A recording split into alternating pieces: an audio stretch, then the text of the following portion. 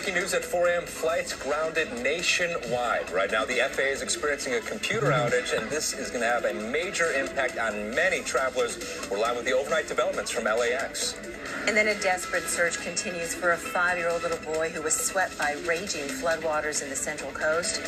His parents are holding on to hope and praying for a miracle as they open up first to NBC4. And that Mega Millions dream continues. The lottery grows well past a billion dollars with no one hitting all the winning numbers last night, but someone here did get close where that lucky ticket was sold.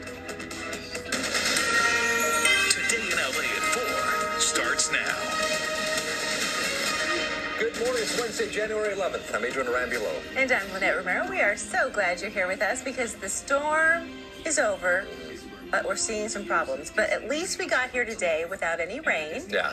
Um, it's cold out there, though. It is. It and is. I was telling Belinda, it took me forever just to get my windows to stop being so foggy. I couldn't get my defrosters to work fast enough. So they're a little rusty, huh? I guess so. I just back into uh, practice. I just right? couldn't get here. I yeah. just had to. It's like. Yeah.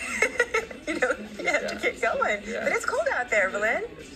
Oh, we do have some video that we want to show you, though, right? We do. I'm sorry. We're going to check out these masks.